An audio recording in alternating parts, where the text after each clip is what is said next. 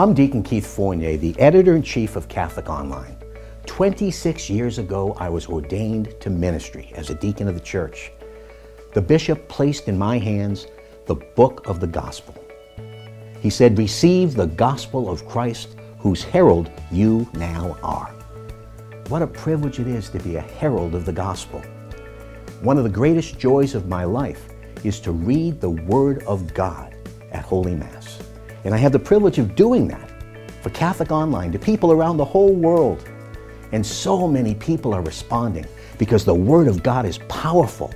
It changes lives. It introduces us to the living Word of God, Jesus Christ. The production of these videos is so well done, and our whole team works so hard. But it also costs, and we need your help. So I'm inviting you today to be a herald of the gospel and help us to continue to produce the daily readings for Catholic Online. And there's more to come excerpts from the Fathers of the Church and teachings on what it means to be a Catholic Christian.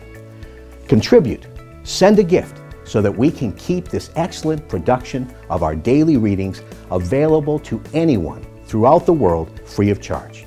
God bless you, and let us together be heralds of the gospel of Jesus Christ.